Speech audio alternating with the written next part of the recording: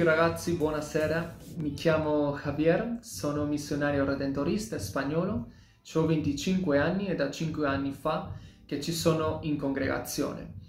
Vi mando questo video perché so che adesso vi trovate tutti insieme in adorazione, in veglia e vorrei condividere con voi questa mia esperienza vocazionale, questa mia esperienza soprattutto di vita. Per me è una gioia.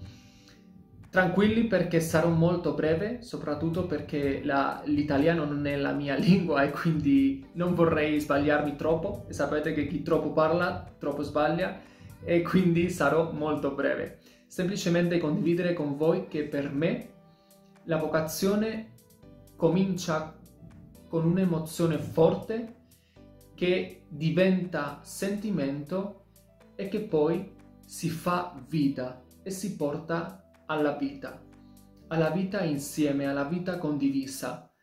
Noi, i missionari redentoristi, siamo quelli che siamo stati chiamati a portare l'abbondante redenzione ai più abbandonati. Questo è la chiave della nostra vocazione, questo è quello essenziale della nostra vocazione e quello che ci muove a tutti noi a donare la nostra vita e a uscire di noi per andare verso gli altri. E questo secondo me è molto bello perché eh, non è soltanto una vocazione particolare, una vocazione dove io mi trovo a me stesso, ma trovo all'altro e trovando all'altro trovo a Cristo. Oggi siete riuniti con questa bella frase di ascoltare la propria melodia, ascoltare la tua melodia, cioè ascoltare il tuo sentimento, ascoltare la tua propria chiamata e non farsi portare per, per altre cose, cose che ci può, ci può fare sbagliare. È una cosa difficile, non è una cosa facile, ma è una cosa che ci porta gioia e ci porta è un stile di vita diverso agli altri. Ascoltare la propria melodia, la propria esperienza di vita, la tua melodia, il tuo sentimento. Questo, come dicevo, non è facile, però è molto bello e ci fa trovare la gioia, la speranza, la fede, la carità di quelli che non sanno, non conoscono a Cristo e noi, i missionari redentoristi e voi, i cristiani tutti, siamo chiamati a fare e siamo chiamati a vivere, a condividere, a uscire di noi per portare la parola di Dio agli altri.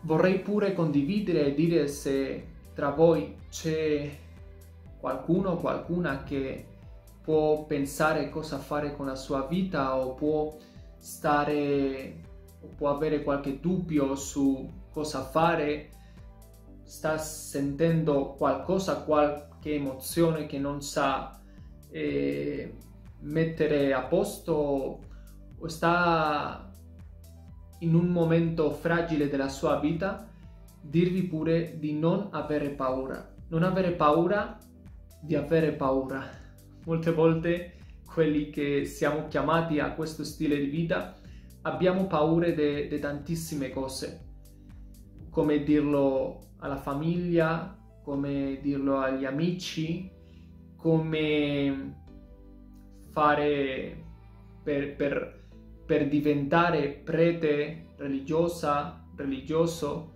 e, e co- come sarà nella vita e questa decisione che prendiamo.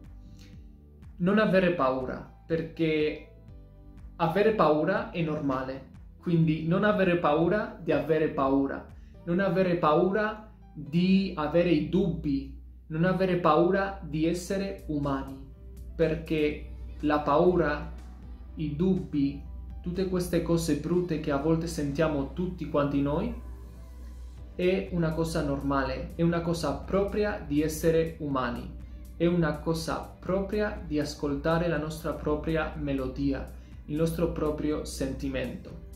Semplicemente vorrei condividere con voi eh, questa gioia di dire sì al Signore, di non avere paura di fare tantissime cose per il Signore e per gli altri, uscire di noi per dar, darci agli altri e come diceva il Papa Giovanni, Paura, eh, Giovanni eh, Paolo II, scusatemi, non avere paura, aprite le porte a Cristo, anzi spalancate le porte a Cristo.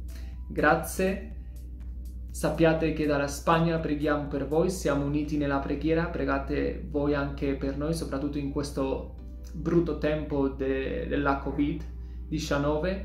Siamo insieme, siamo uniti nella preghiera e sappiate che non siete soli.